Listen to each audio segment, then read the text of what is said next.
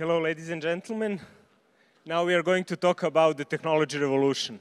If you're excited about artificial intelligence, you might be surprised what is coming next. Israelis call it bioconvergence, McKinsey call it biorevolution, some even call it the fifth industrial revolution. Steve Jobs also had some fantastic thoughts about it, but I will let our speakers tell you more about it. Today, I'm very happy to introduce a very globally renowned scientist from the genetic field, the long-standing director of Serbian Institute of Molecular Genetics and Genetic Engineering, the president of the governing board of International Center for Genetic Engineering and Biotechnology, and now the Minister of Science, Innovation and Technological Development from the Republic of Serbia, Dr. Jelena Begovic. Please come to the stage.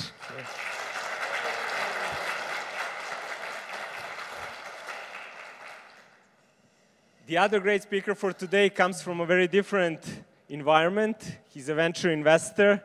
He comes from London, from UK. He's founder of Selvedge Ventures and a venture partner of Mubadala Life Science Fund. The last information I got is that it is worth 1.1 billion pounds. So please welcome Alasdair Thong, who will start the speech.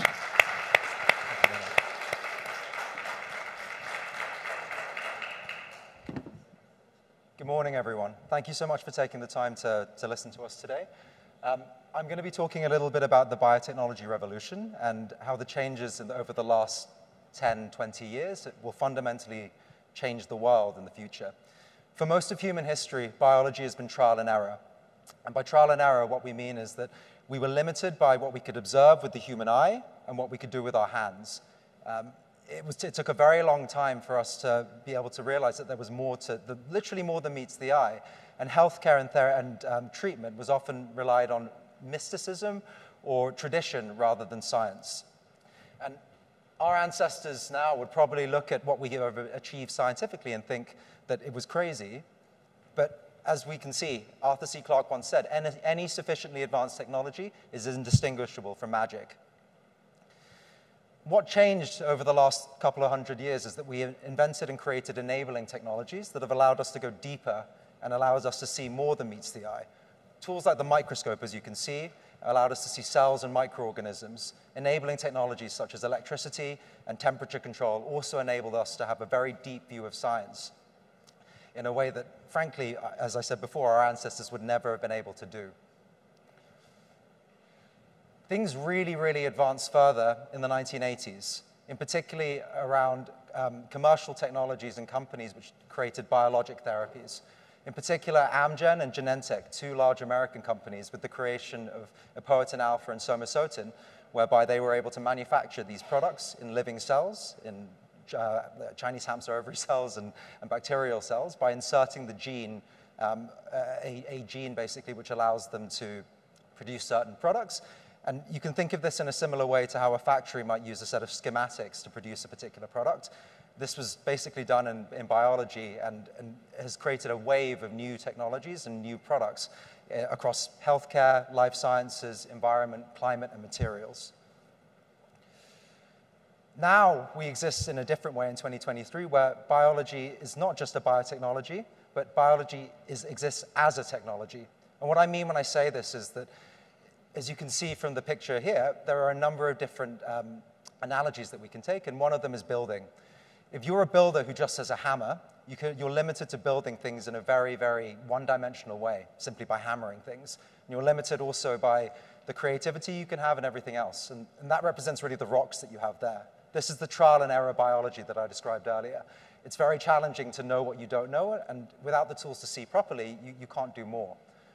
The image in the middle represents biotechnology, such that with multiple tools, such as a spade, a hammer, a screwdriver, and other hand tools, you can build intermediately complicated projects, such as a house, um, as an example, but you're, again, limited by what the human body is able to achieve and what those tools are able to do.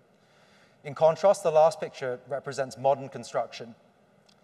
In order to build a skyscraper, you need many modern technologies and, and, and tools which didn't exist a long time ago.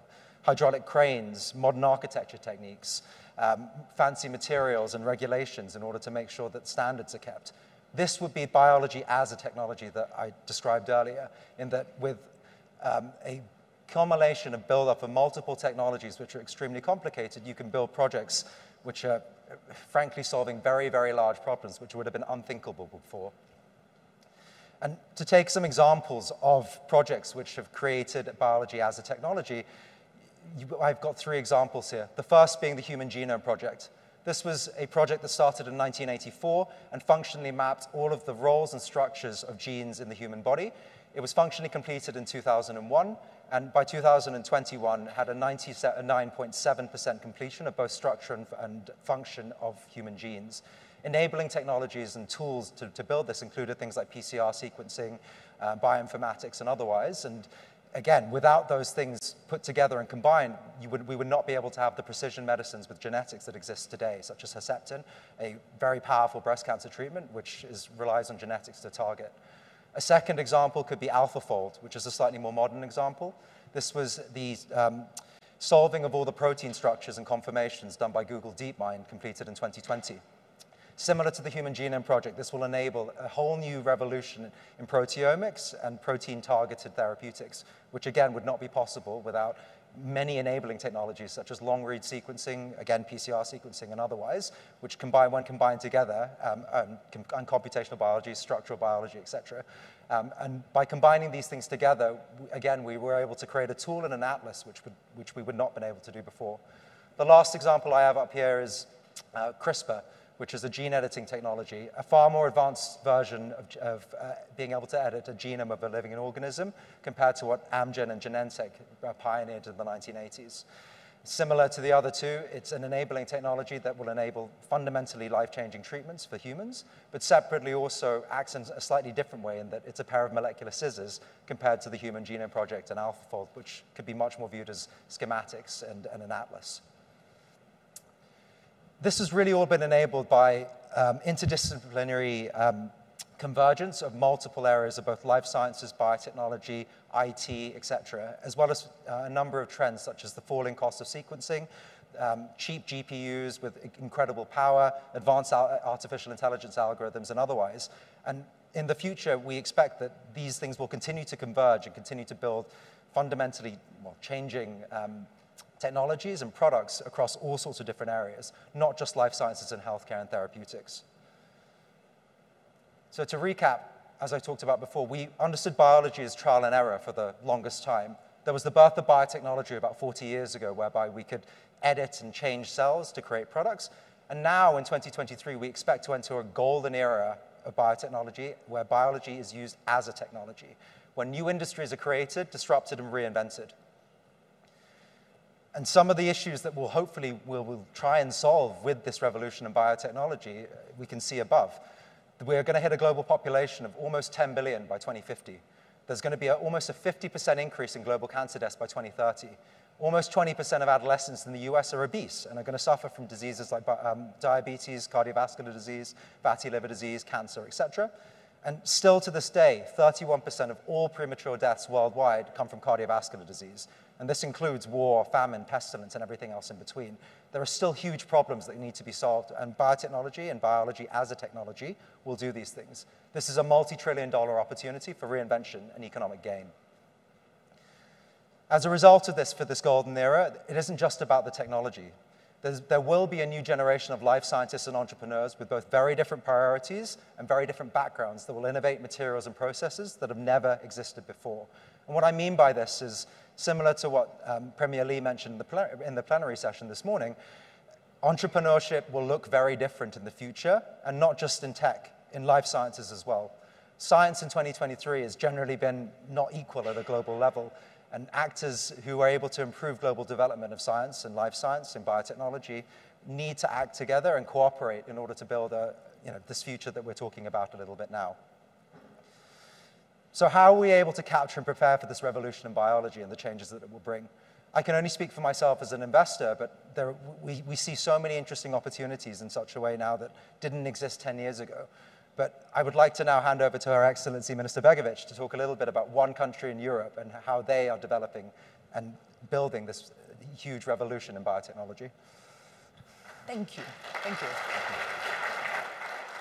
Thank you. Good morning, everyone. So there are two questions uh, that should follow this. Why should we prepare and when? So uh, the answer to the first one is not only the biology and scientists will be influenced by this revolution in biology. We have to be aware that our economies, uh, our social systems, and every single each individual on this planet will be influenced by this revolution. The second question is when to become, when to become, uh, when to start the preparations. So the best answer is, of course, well, the best time was 12 years ago. The second best time is today. So we shouldn't wait. So why 12 years ago? Well, 12 years ago, I always refer to Steve Jobs. I take him as a big uh, visionary of our time, a person who really influenced our lives on regular, everyday basis. So he foreseen that the merging between biology and technology, between life sciences and uh, ICT is a new revolution and a new era that is coming. Although now we can say it's already here. So today we have companies that transferred big factories, we're talking about thousands of square meters, 10,000 square meters, to microns, to living organisms. We have companies that are offering the production of any kind of compound in a living organism. Then when you see that uh, companies or agencies like uh, Boston Consulting Group or McKinsey are talking about biotech and synthetic biology as something that is coming, it's around the corner and it's going to change the industry. It's going to move trillions of dollars within the economies. Well, half of the population is very happy and I'm the one half of it. But the second part of the population gets a little bit scary. So what is happening? What is going to happen with our societies? What is going to happen with our jobs? What is going to happen with our economies? So definitely, the consulting and financial groups are talking about biotech. So this is happening, and this is going to influence our lives. So let's see how we can prepare. I am speaking from the point of a Minister of Science of a small country on Balkans, in Europe, on this planet. So this is the country with a, I would say, almost a perfect spot on this globe because it's a spot where East and West meet, North and South meet. It's a country where you don't, you don't need visas to come to, the, to come to Serbia, whether you come from India, from China, from United States, Europe, all around the world. So it's a perfect spot to start something that should grow to become international base of development. And we definitely, as a government, came to the decision that we're going towards the development of bioeconomy to development new bio hub in Europe. So, so far, for past seven to 10 years, we invested heavily in innovation system through building science technology parks, through building different small innovation centers, because as a small country, we want to reach every single entrepreneur, every single innovator, every single scientist within our country. We need them all. So we want to gather them and we want to bring them together around one idea. And this is the building of a new innovation ecosystem in our country. Uh, in parallel, of course, we have a huge and long successful history in education and success in science in STEM, particularly in STEM areas. So we're building the ecosystem for the future development. We're investing heavily in national data centers, supercomputers. So we are trying now to put together all the pieces of the puzzle that we already have. Together with the World Economic Forum, We open a center for the fourth industrial revolution, third one in Europe, 16th in the world. And we are focused in this center on biotech and AI because we see these actually as a fifth industrial revolution. So the convergence between ICT, AI, and life sciences. Why these four key, key areas of life? Because these are the major challenges. Healthcare system, food production and agriculture, energy and environment protection. This is something that concerns all the countries in the world. This is something that concerns every single individual on this planet. So we are building a Bio4 campus. It's a platform for collaboration. It's a platform where we are bringing together academia, private sector, government, all the gray cells that we have in the country and all the infrastructure that we have in the country and in big investments in this Bio4 campus. Bio4 comes from biomedicine, biotechnology, bioinformatics, and biodiversity. So four bios as we see the future development of our country. So what are we doing? We are actually not starting from the zero. As I mentioned, we have excellent science, we have uh, army of scientists. We're just putting them together for the collaboration. We're putting six faculties, nine research institutes.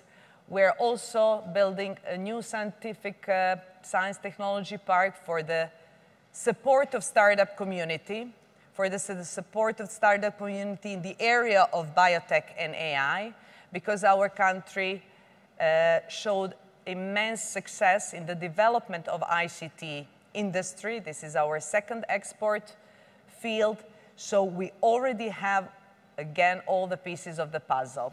Behind me, you will see how this platform will look like with different core facilities. But what is also important, as much as uh, our academia, that's the private sector.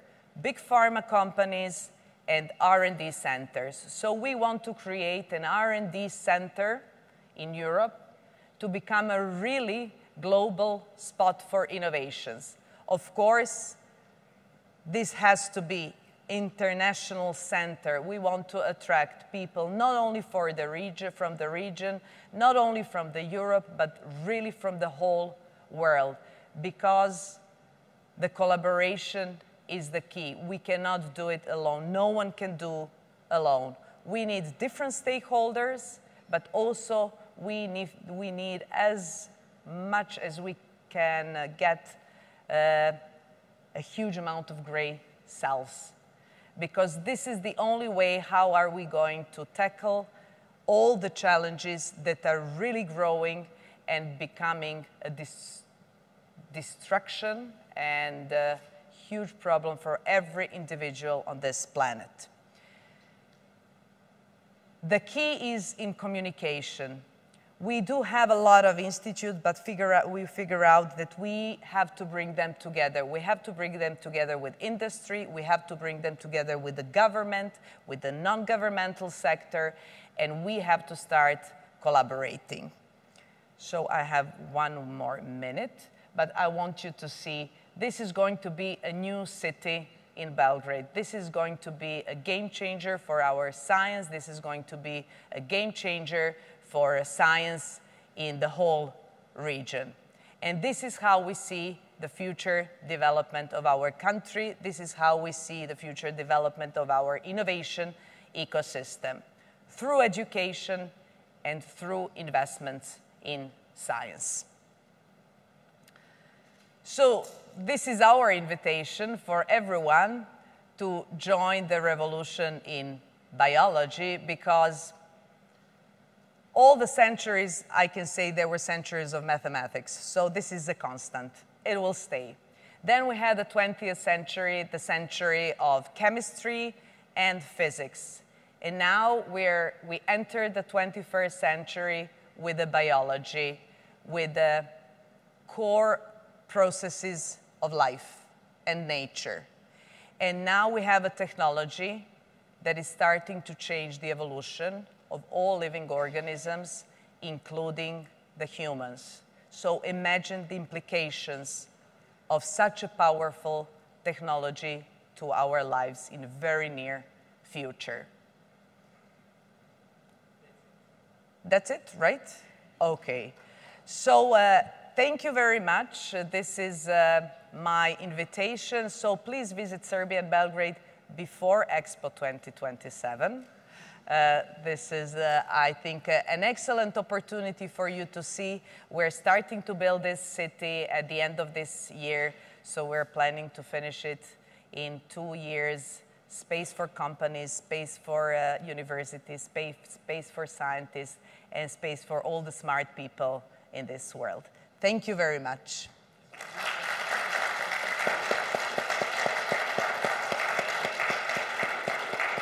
First of all, I would like to thank you for being here today with us. And now uh, we're at your disposal if you have any questions, any comments, anything that, you know, can uh, be a start of communication of, I think, crucial themes and the changes that are ahead of us. Please.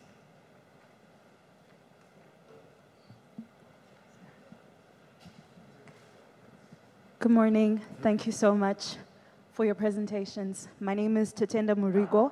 I'm a global shaper from the Harare Hub, and I'm a biotechnology and biochemistry student at the University of Zimbabwe. Um, I would like to ask about biotech innovators within the space of science education. Um, how can we create more space for people who want to promote education for younger students, particularly people within primary and secondary education? Um, one example that I could give would be creating of molecular biology kits that can be used in underprivileged communities, uh, whereby they don't have access to uh, the physical laboratory, but they still need to learn certain aspects of molecular biology, appreciation of it. Um, how best can we support biotech innovators within the science education space? Thank you. Okay, yeah, well, uh for the science, it's becoming really clear that we have to start with education as soon as possible because we need new generations that understand new technologies. This goes the same with uh, AI. For instance, in Serbia, we introduce uh, the programming uh, and AI from the elementary school from the first uh, first grade of elementary school. From the fifth grade, they already are learning Python and different AI, AI tools. But this goes the same with the, with the biotech. Uh, yes, I completely agree that uh, some kits uh, can be developed uh, and actually uh, you can isolate DNA without any kind of kit. You know, you need a juice, you need some ice and some alcohol, and you can really demonstrate to the kids what, what is DNA and some similar kits can, can be really applied. Also, I think we should use more uh, informational technologies uh, through, for instance, YouTube. You can find such amazing lectures on basics of molecular biology, chemistry, physics, uh, that are that can you know understand the regular person that is not that that is uh, not uh, uh in this uh, art or uh, it can be understood by a kid, but I think we should focus, and I agree, we should focus on uh, younger generations because it's very difficult to foresee what is ahead of us, and we have to prepare them uh, for the new jobs, for the new challenges that are very hard to foresee at this uh, moment. But then again, collaboration and centers like this uh, and centers in your country that are promoting science within young populations are, are very, very important. I would just add also that it's, also, it's, it's what you focus on as well. So the rise of everything that ministers talked about is, under, is underpinned by computational biology, a lot of it actually. And bioinformatics doesn't need a wet lab for the most part. You need data. And if you have the data and you have a laptop, you can be a scientist now in a way that you could never be before. So I would also encourage countries which, and, and, places where if you don't have access to a wet lab, focus on what you do have access to and you know, double down on that. Yes, yes.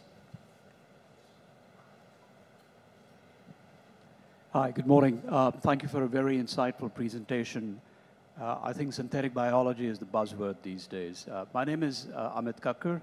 I'm an MD in oncology and nuclear medicine, uh, working with Novo Holdings. Uh, we are part of the Novo Nordisk Foundation, very actively involved in both life science and sustainability investments. we do have innovation hubs in Copenhagen right now, and we're looking to see what we can do across the world. I think one of the key questions is, where does the innovation come from? Do you have the basic pool of innovators like academia and other innovators in Serbia right now? And I apologize, I'm not being rude here. No, no, I, I, don't have any idea about that. And because we see that at academia, I, I live in Singapore and we see that coming in from A-Star, NUS, China it comes from CAS, Peking University, Copenhagen it's from Aarhus, uh, CPH Business School. So can you elaborate a little bit more about the Serbian ecosystem where academia is concerned? Absolutely. So uh, the innovations come both from uh, the industry and academia. So we worked a lot on uh, structuring the system because we uh, were facing the situation where, you know, the invention is there, and they start to somehow develop it towards innovation. And then in that chain, in that pipeline, something was missing. So we had to build stronger supporting system from uh, the identification of innovation to explaining to scientists, uh, particularly in the areas where every single paper is also kind of innovation, uh, how to overcome th those borders that there were in, uh, you know, uh, uh, in their brains, in their minds, and how to pursue innovation and what are the benefits, you know, of becoming an entrepreneur. We don't expect, of course, that everyone will be entrepreneurs. It's not a good thing because, you know, where, where the world will go in which direction if everyone were entrepreneurs. So you always have in a population a percentage of those who are really willing to risk. And the change mind of mind setup that uh, a failure to fail is a good thing is also a process that I see also in Europe that it's still a problem. So we are working a lot with uh, uh, faculties, with research institutes, with individual scientists through different trainings, to, through different uh, visits uh, to other ecosystems, just to uh, create a minimum uh, number of those who are willing to try. And we were very su successful in ICT. Of course, when we talk about biotech, it's a completely different story. It's highly risk, it's very, it takes a long time. Uh, it takes high, in, highly, uh, high investments, so it's 10 times everything compared to ICT. Uh, but nevertheless, we decided that we will support. And now we have a growth number of uh, companies that are biotech and combination of, uh, particular combination of AI and bio, AI and medicine. So we are now uh, with the most of the, we have mostly innovations in this field, but we see now that other fields are growing, particularly in agri, agri-tech uh, and, uh, and medicine. But it's a process. I would also just add on that that um, as an investor, what makes the Bio4 campus so interesting is that it becomes a hub for the region. And there is currently no hub in that region. The hubs in Europe are in you know, the UK, Switzerland, Denmark, as you mentioned, um, Spain to some extent now with you know, Moderna and, and um, BMS moving their um, large R&D facilities there. But there is no hub in Serbia or in the Balkans, yeah. or in Turkey, or in Egypt, or in any of the countries there. And by building this, the smartest people from those places will go to Serbia now, at least as a starting point, because it's a lot more, you know, it's a lot easier and it's a lot more um, valuable.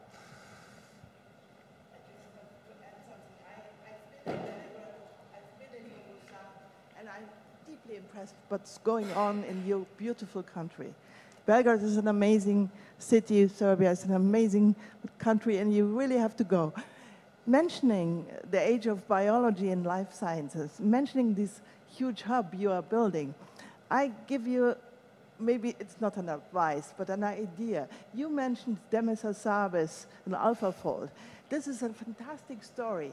I think building up this center, this amazing vision for Serbia, you have to tell stories. You have to tell who are the ones who make the biggest achievements. What is their story? People always connect with stories. You know, it's easy to say we are the, this and do this and this and this, but if you add a face on it, a story to it, we, it's better to connect. And I really encourage you to come to Belgrade. Thank you very much.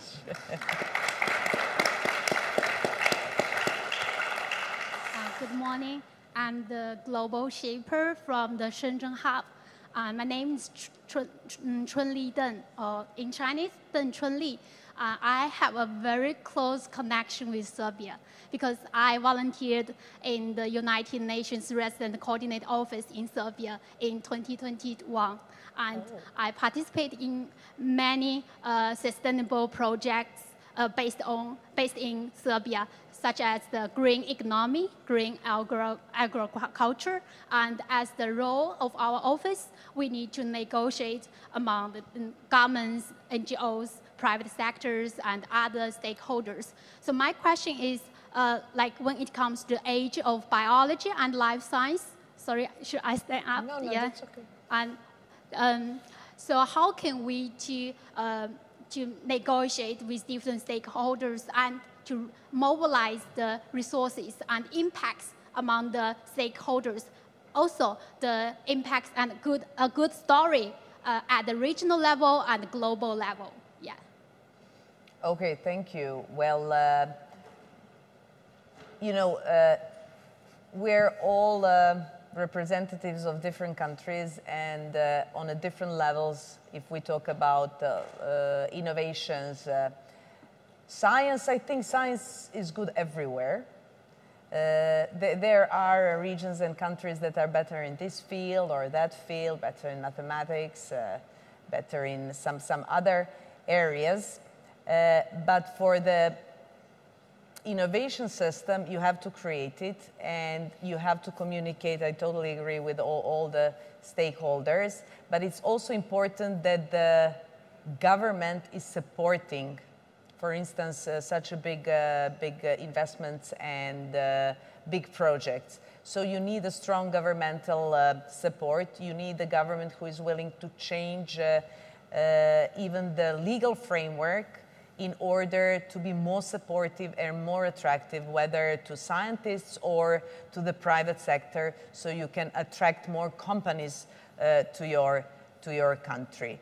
Also, the communication with the public is becoming very important because biotech, as I said at a certain point, you know, uh, people are uh, extremely happy, uh, but also you have uh, citizens that are, you know, becoming scared of these new technologies. So constant communication is also uh, important, and we, we are planning to, to make some um, one multimedia, multifunctional center something between art and biotech so we can really communicate with citizens you know so we don't end up in, with situation you know that we have fear in the in, a, in societies and this is going to be more and more intense as these technologies advance uh, as I mentioned, we, we are starting to change the evolution of our own species. So, you know, when people become aware of it, they should be prepared and they should have more knowledge. So communication through media, communication through some